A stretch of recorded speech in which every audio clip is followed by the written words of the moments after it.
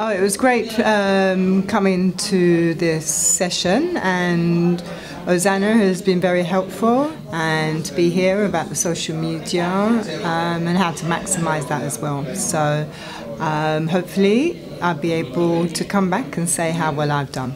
And I thank everybody involved with Ozana, and I look forward to completing reading her book.